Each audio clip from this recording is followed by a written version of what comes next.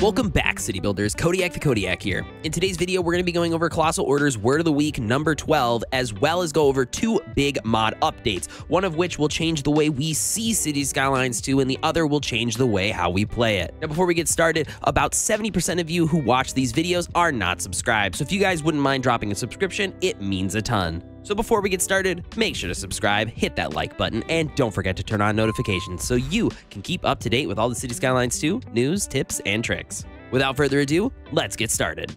Okay, now before we get started, this week I want to spend a little bit more time working on some other videos on the channel, so you guys might see one this week or maybe even next week as I work on some more. Honestly, like a lot of you and a lot of other content creators, I'm kind of just taking a little step back from playing Cities Skylines 2, so I'm just not actively playing the game. There's not really any new updates coming out for the game, and I can actively track the mods one by one as they come out. Not really like abnormal for me. I did this a lot with Cities Skylines 1. While I have like well over a thousand hours in the first game, I have been playing it since launch, and there are some people who have way more hours than me.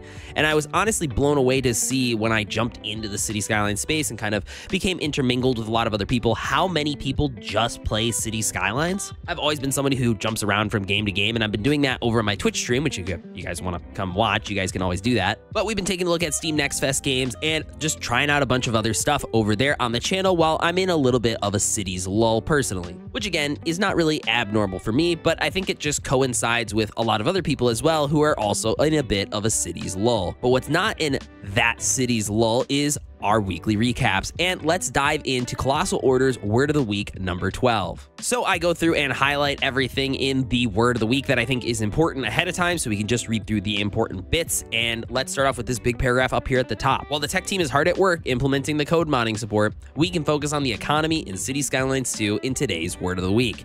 At release, the economy did not meet the quality standards we strive for, and I apologize for the frustration that this has caused.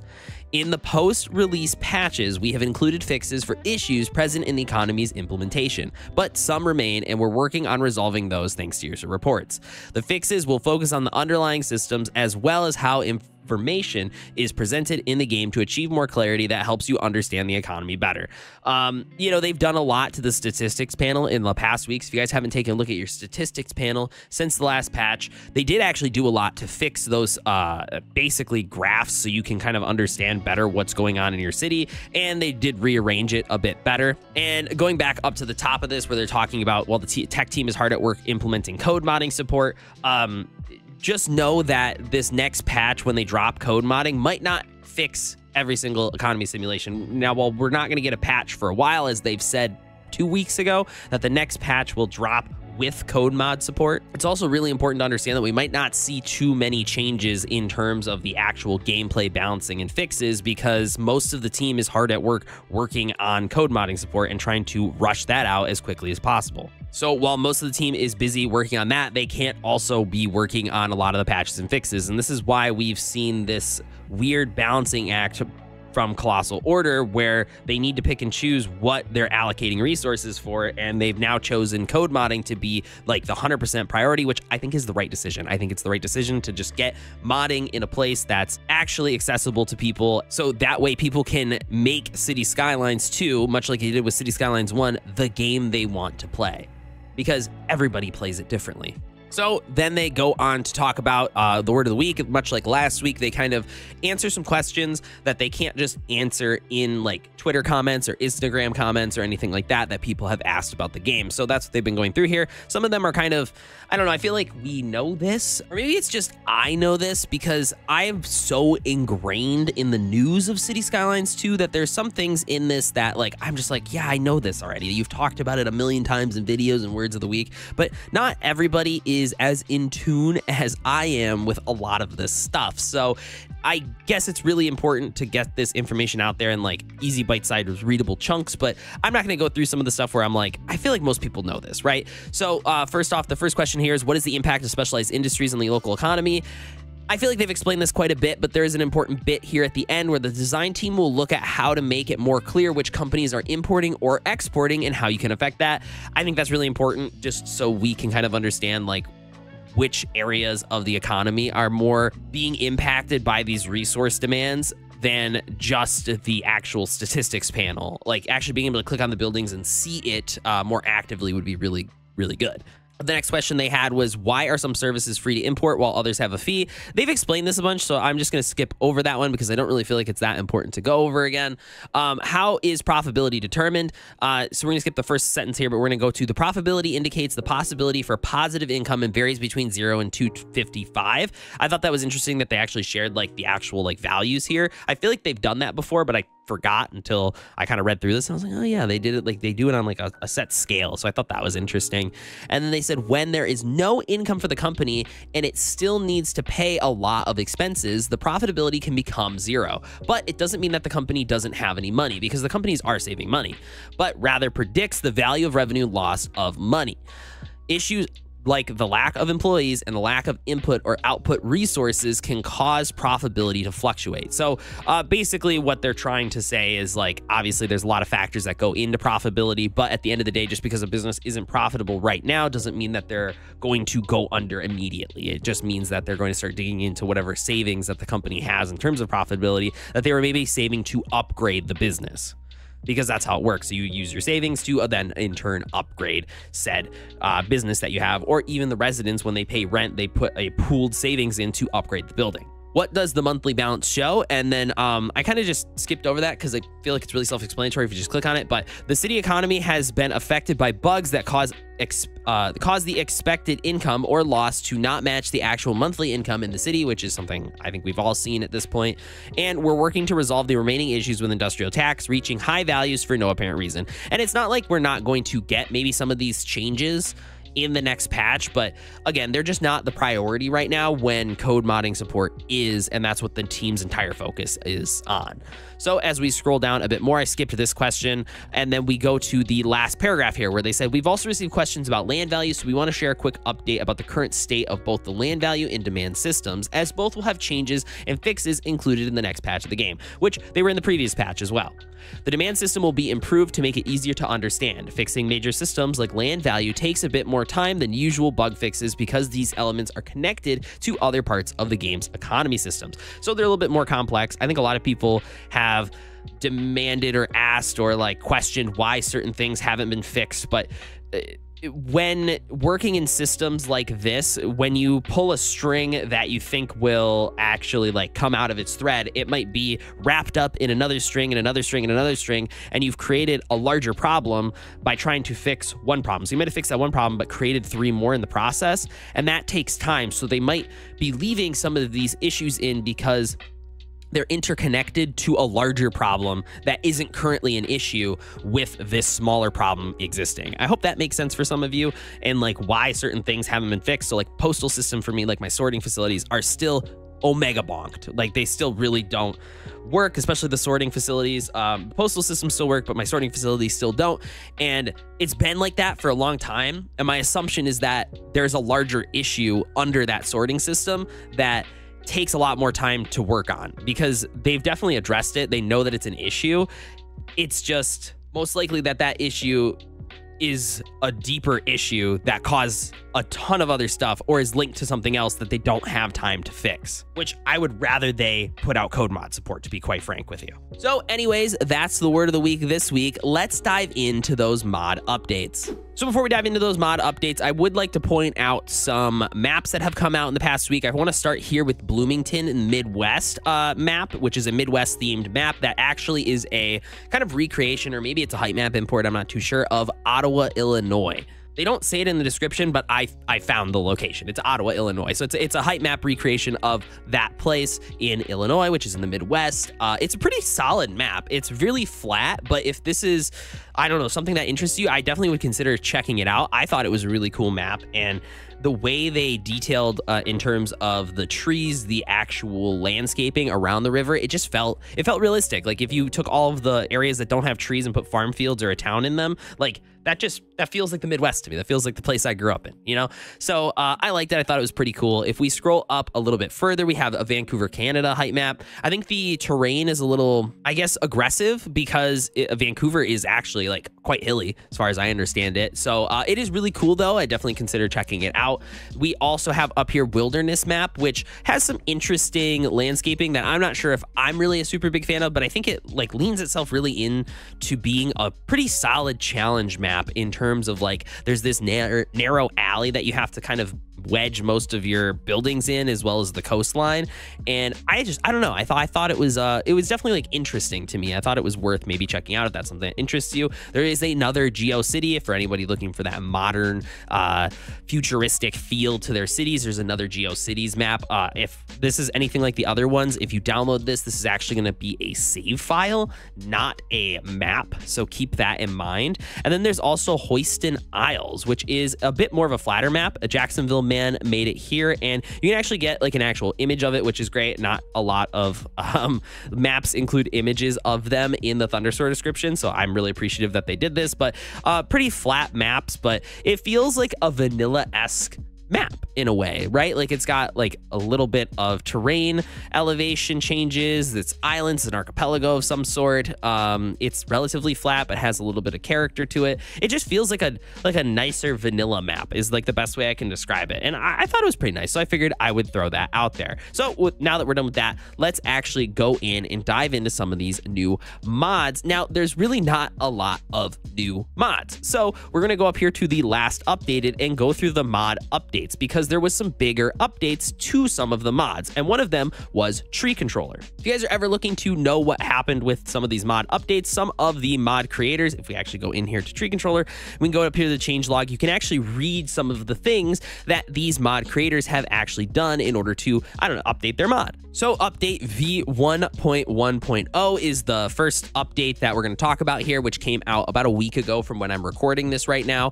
While brushing and changing types, you can select multiple types of trees to make custom sets. So you can now make custom sets of tree brushes, which I can go in and show you guys how to do here after we read through this. You can save custom sets to five buttons that you can use or override later, which is super sick. So we have like customizable brush sets that we can set, much like the uh, forestry brush mod from Cities Skylines 1.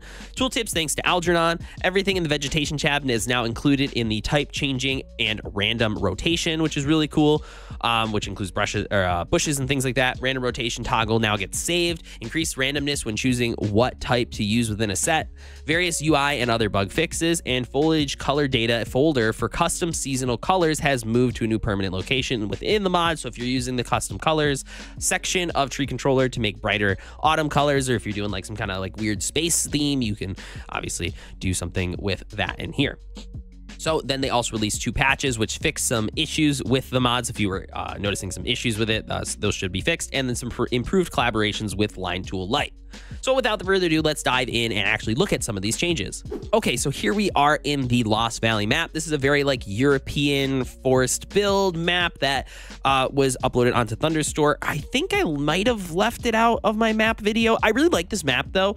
It is definitely more challenging than uh, most of the maps that are available on Thunderstore. And the map creator talked about that as well in the description of the mod. This is meant to be a very organic map. As you can see here, it is incredibly hilly and something that is meant to be a real organic build with maybe not a lot of structures on it. Now, that being said, I wanted to use this map to highlight the other mod that we're going to talk about in a little bit. But first, let's dive into Tree Controller. So if we go into our landscaping tab, which we're already in, we go over to vegetation, and then you go down here to the place multiple button, you'll notice that things have slightly changed. So first off, we now have access to a bunch of buttons up here at the top, and these are our custom sets. So they even explain how to use the mod. So what we can do is click custom set one, we can click custom set two, custom set three. They already have some pre-made sets for us. Let's go to custom set five because there's only one tree in it. So we can hold control to select or unselect multiple items of trees using the toolbar. Then hold control and click this button to save the custom set.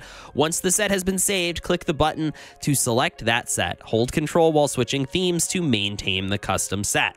So here's what we do.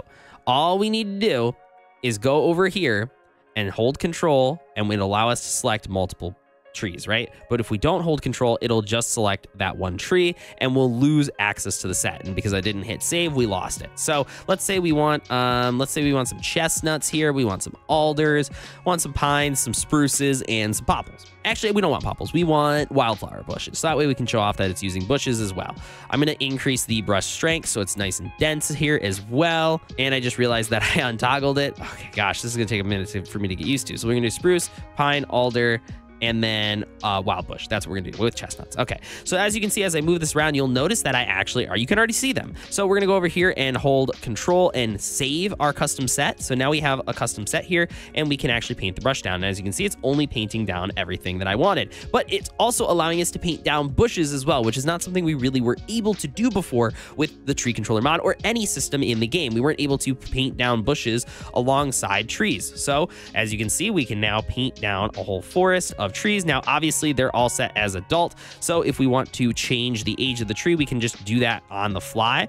And uh, here we go. So now we can go through and paint a bunch of different ages of the trees. And now we have a full forest with the actual selection of trees that we wanted to have in the forest. Now, an important thing to uh, learn about this is that, so obviously we had that brush before, but if you notice now when I click on it, we actually only have London Plane and Lindens. But if you're paying close enough attention, you'll know that those brushes aren't in the European tree set that we were using before because we were using alders and alders are only found in the European tree set. So do keep in mind that these custom sets are like they'll still actually select the theme. So it's not uh, five sets for the North American theme and five sets for the European theme, but it will actively switch to the theme that those trees are found in as well. And I believe they're theme dependent, so you can't put alders with some North American exclusive trees. So what's a North American exclusive tree? The hickory.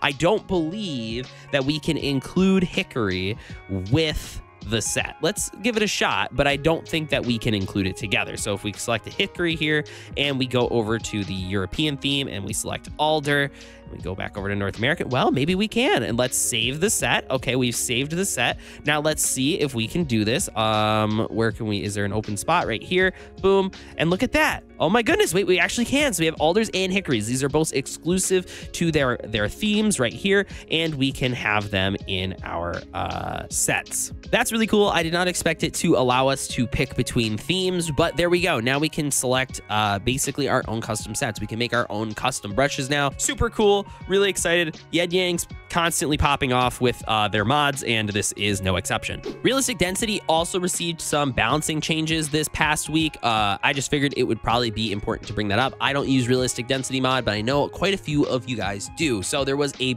uh, some changes to that mod. So take a look at that in the actual change log in the uh, just like we did with uh, Tree Controller in Realistic Density. Find Stuff also received some updates as well. I'm not going to go fully into that. If you guys want to learn what Find Stuff is, uh, most of them were quality of life changes. Uh, nothing super big, if I remember correctly. There were some things disabled, some things. This mod's really actively changing, and I don't really feel like spending much time in a video to talk about it when they're probably going to change it. Um, it's a really cool mod. If you guys want to learn about it, click up in the annotations right now to last week's weekly recap where we talked all about Find Stuff mod, which also includes a picker mod. And I did actually hear from the creators of Find Stuff mod last week at the end of it. I talked about, man, I really wish that the pick stuff part of this mod worked with networks. You couldn't use it to use networks, and that's kind of how I used a lot of my building in Cities Skylines 1 was with the picker mod and picking networks and then rebuilding it. And it does seem like they have added that, which is super cool. So now you can use the actual picker part of it to uh, select networks is now not just buildings. So anyways, if we scroll down, though, there has been an update to Map Texture Replacer, and this is a big one, absolutely massive update to Map Texture Replacer. There is now also two extra mods that come with it. Uh, before, if you were using Map Texture Replacer, you'd probably know that it includes the desert map theme. That is now a separate file. You have to actually go onto Thunderstore and download the desert map theme. But there is also the Home of Chameleon map theme, which is a custom map texture pack made by Chameleon TBN for the Map Texture Replacer mod. And this pack is so good. It is so good, guys. Let's dive in and take a look at it. Okay, so here we are back in Lost Valley, and I want to show you guys off the map texture replacer. I've shown it off before, I believe in my top 15 mods video, which is pretty out of date at this point, just because the modding scene changes so quickly. But all you have to do once you download it is select the backpack up here for Hook UI and go down here to the map texture replacer. And if you haven't taken a look at map texture replacer recently, you'll notice that things have changed quite a bit.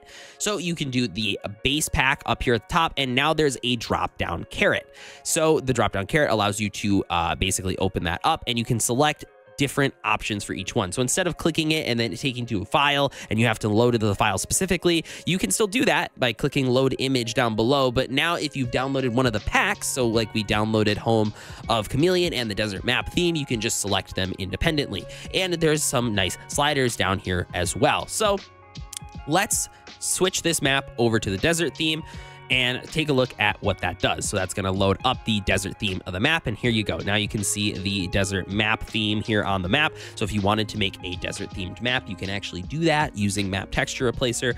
Obviously, a lot of the assets might not work super well with it, but if you're looking to make maybe a Vegas style city, you could totally do that right now just with this mod alone. And if we wanted to now take a look at Home of Chameleon, which is the reason why I wanted to actually do this on Lost Valley, because I felt like Lost Valley was kind of this hilly Alps-esque esque kind of map, or it's the closest thing we've kind of had to that at this point. And if you actually load this up, oh gosh, I just, I love what Chameleon did with the actual uh, ground dirt textures as well as the cliff textures if we go over here. Now, obviously with the tiling, there's a lot of repeating textures, but that's the really cool thing about this mod is that we can actually change how the tiling works for stone. And now it doesn't look as bad because we've increased the texture size. And I think that looks a lot nicer. Also, if we go in here, it changed the color of the stone. So let's actually switch it back to default so you guys can see what that looks like in comparison. So this is Chameleon's uh, texture pack here. And and if we switch it back to default, you notice it's a lot sandier, it's a lot more yellow. And if we switch it back to Home of Chameleon here, you'll notice that the first off, the grass is a little bit brighter and all of the stone and dirt is all a bit more gray, which I feel like fits with the uh, type of geography that you find maybe in more mountainous environments or like in the Alps or the Rockies, for example. Now, obviously, there's still some sandy stuff in the Rockies, but this just feels a bit more like the mountainous theme that I want when I'm building my cities.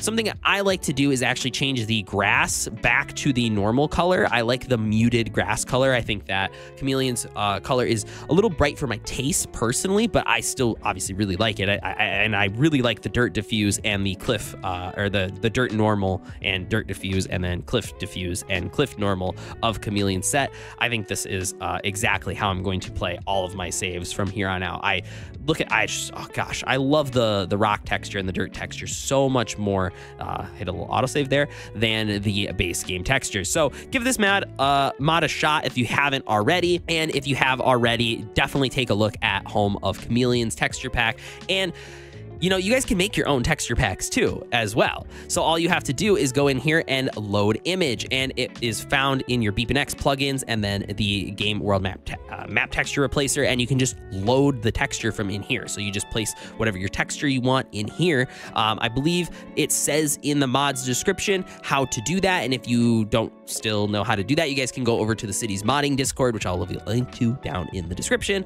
and actually just ask how to do it, and somebody will definitely help you uh, figure out how to do that because all you have to do is go to a website that has textures available to you. So these can be free textures that you can find online, and you can pick and change however you want your city to look, and you can experiment around as long as you have access to those free textures. So if somebody has a website that maybe contains a bunch of free textures so we can truly start making the game look the way that we want it, please let me know down in the comments, and I might even pin the comment. So that way everybody can find it and have access to it. Okay, and that's all from me for this week. I hope you guys enjoyed the video, and I hope you guys get some use out of those new mod updates that have come out. If you guys are taking a break from Cities Skylines 2, let me know down in the comments what games you guys are playing that aren't Cities Skylines. So if it's not Cities Skylines 1, what are you playing in replace of Cities Skylines 2 right now? It also just lets me know that you guys made it to the end of the video, which is super cool. Anyways, I'll let you guys get on with your day. I've been Codiak Kodiak, and I'll catch you guys in the next one. Deuces.